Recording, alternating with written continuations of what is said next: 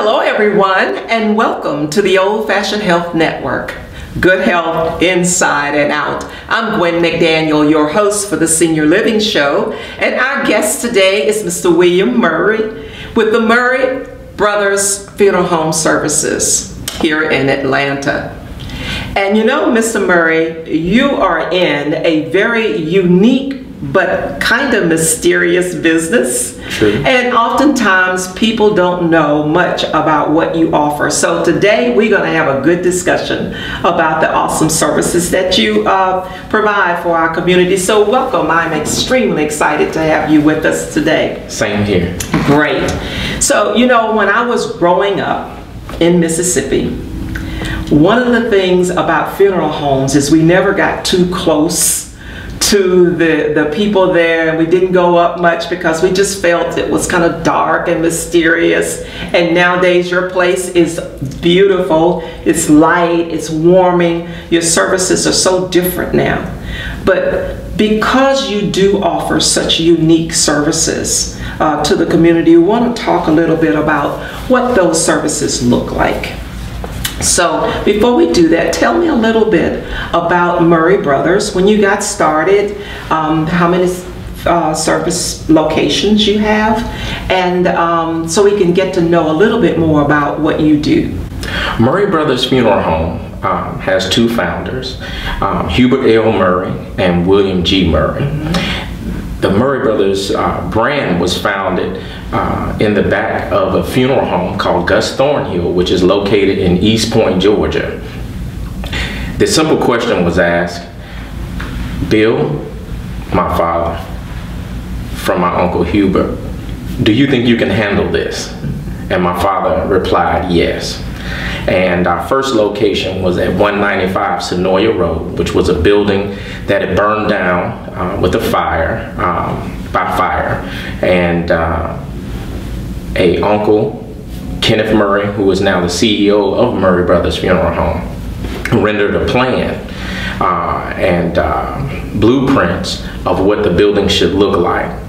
A older brother named Thomas Murray, along with my father, uh, Bill uh, William Murray, a cousin Ronald Murray, another cousin Tony Murray, and yours truly built the funeral home in Fairburn, Georgia. Actually restored the building and brought it up um, to where we were able to open in 1981.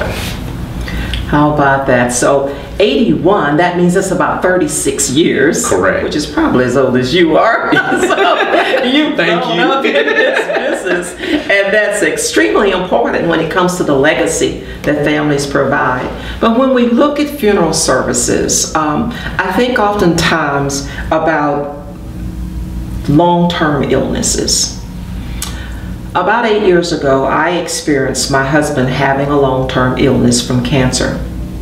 And after 18 months, then we had to make the decisions of what we would do after he transitioned on. What recommendations um, would you make to families when there is a situation of a long-term illness and you know that things are about to happen? What would you recommend families do?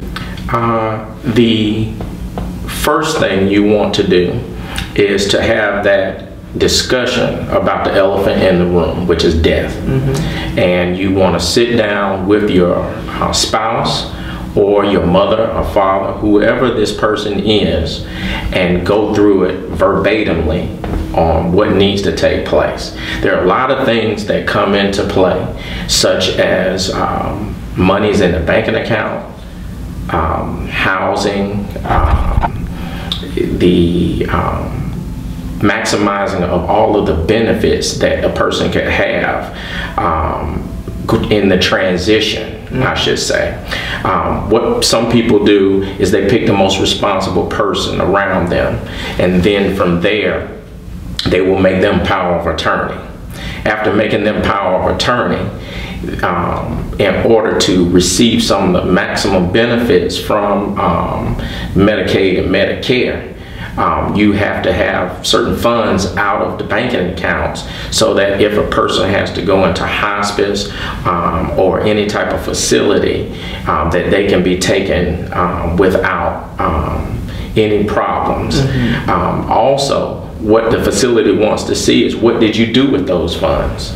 And by setting up a pre-arrangement with the funeral home, that is an excuse that you can use to um, um, instead of just liquidating and then there's no uh, um, place where the funds absolutely went.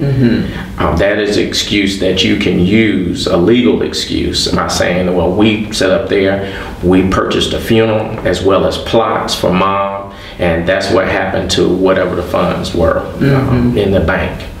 And you know, when you think of long term illnesses, um, that we oftentimes realize that if people prepare ahead of time, there are certain things that you can do to keep the, so much emotion out of it. it it's tough either way. But um, for me and with my husband, we made arrangements with the funeral home. We selected it. So when people decide that they need to make selections, how do you make that selection? How do you distinguish between one funeral home and another? What would you say is one of the major things that you need to look at when you're going through this? Well, um, the funeral home business is one of the, the most oddest businesses um, there is in history, and majority of the business from the funeral home doesn't come from advertising. It doesn't come from um, uh, being out in the community, but it comes from word and word of mouth.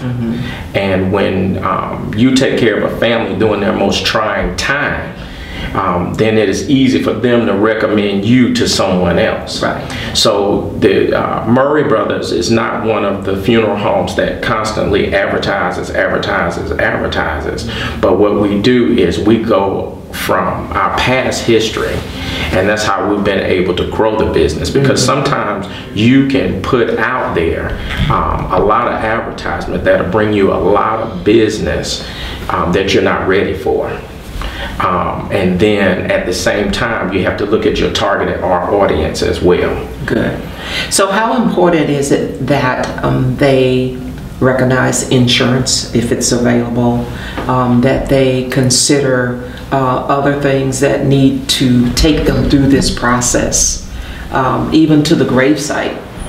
Well, uh, in dealing with uh, death, um, when you're dealing with death, a long-term um, death that may be occurring, the best thing to do uh, with that is if the person does not have insurance, that is not the time to go out and get insurance. Uh, nine times out of ten, if the person passes within two years, the insurance policy is contestable. Um, they're going to look at the pre-existing conditions um, within those two years. Um, should the person pass in those two years, and they're going to um, look at the medical uh, medical history. And when they determine that the person was sick before the insurance policy and they had had this treatment during those two years, then what they will do is send the family back the premium.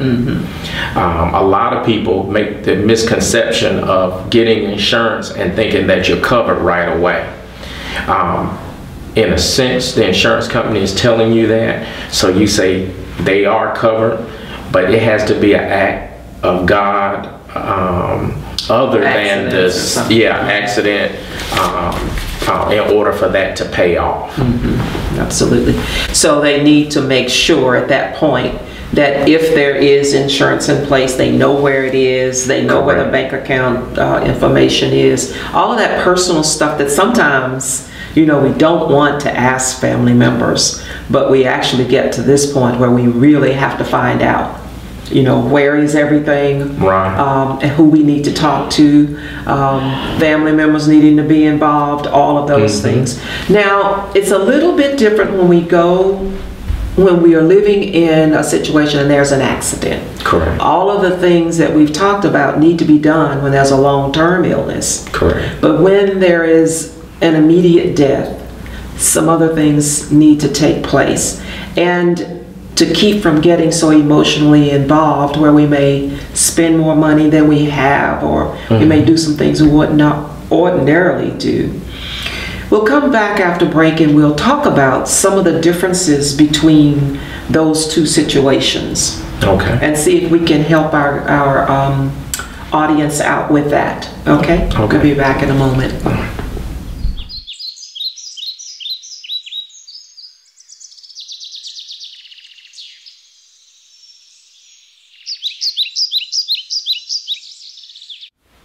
Welcome back, everyone, uh, to the Old Fashioned Health Network.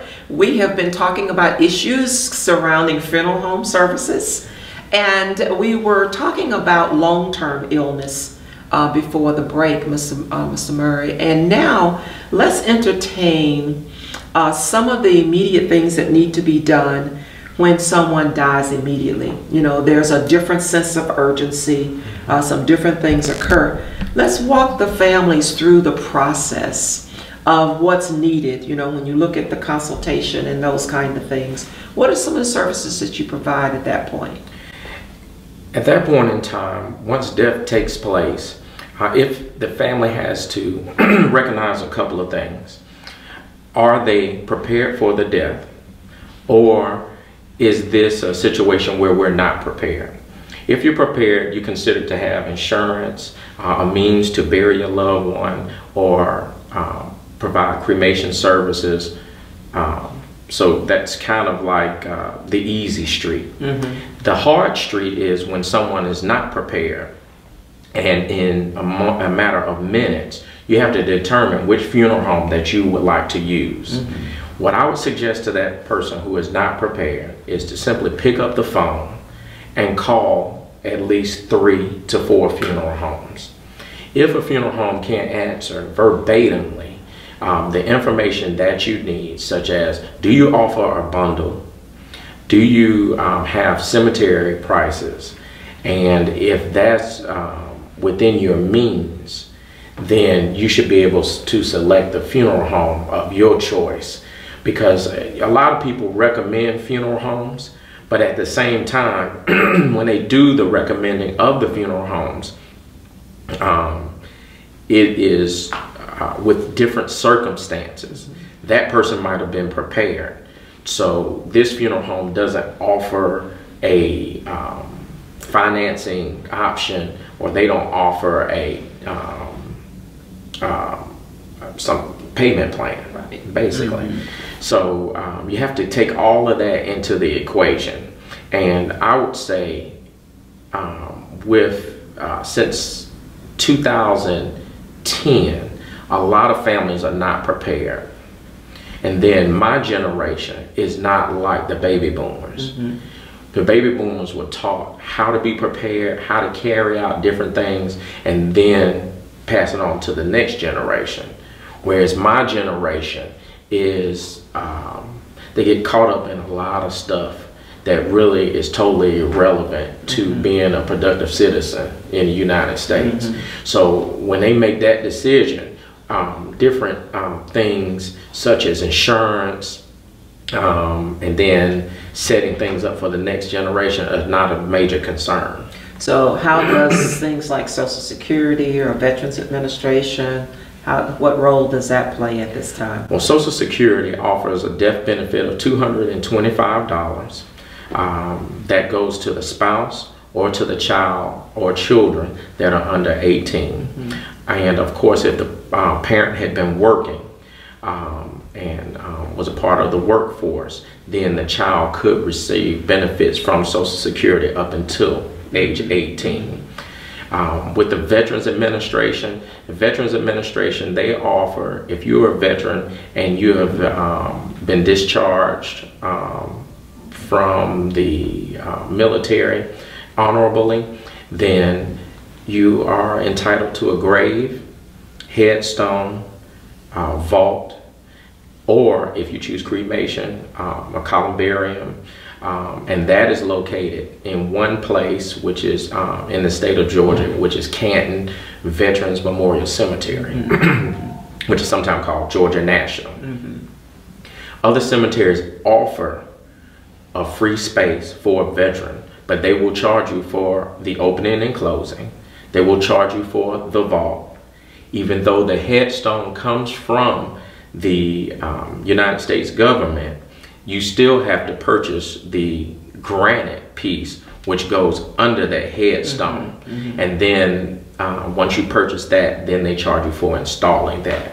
A lot of people get confused yeah. in thinking that it's free at uh, different cemeteries. Well, you know what's interesting is that you have an opportunity to educate families, even though this happens and it's a shock. Um, they don't know where to turn. So the benefit of your services is that you have someone here that can help walk them through that process. Well, you've done uh, a great job in educating us on some of the things that we need to think about. But I love the fact now that you are really ingrained into the community. This is truly a relationship business. It is. And um, we have to feel comfortable coming to you asking questions. And I'm glad to see that you are in a position to where as a young one you can go out and share this education with the community so that it does in time prep us um, a whole lot better in knowing how to prepare for this transition because we all got to go there. Yes. We all got to go there. And we definitely want to make sure that we do it to the best of our ability so that it benefits everyone. Well, thank you everyone for joining us today. We uh, hope that the information that we share with you is beneficial. And thank you so much, uh, yes, Mr. Murray, for, for uh, working with us today and providing this information to our audience. Have a great week.